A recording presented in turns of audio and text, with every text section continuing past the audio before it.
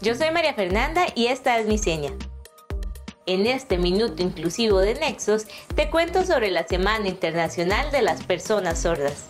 Esta conmemoración se celebra la última semana de septiembre.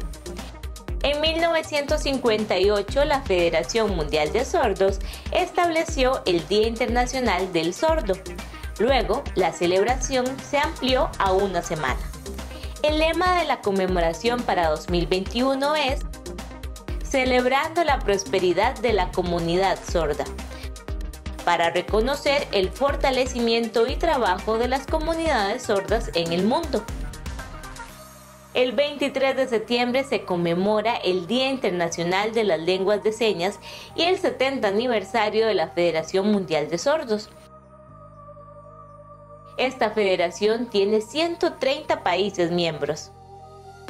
Hay más de 70 millones de personas sordas en el mundo que se comunican en más de 300 lenguas de señas distintas.